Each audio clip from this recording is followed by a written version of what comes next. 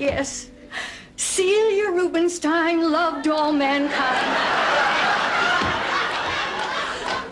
She was. Oh! Celia Rubinstein. This funeral isn't for Celia Rubinstein. It's for Frida Claxton. The Rubenstein funeral is down the hall. Oh, I am so sorry for the intrusion. Uh, Frida Claxton. Wasn't she the woman who owned that old house on Richmond Street? Yes.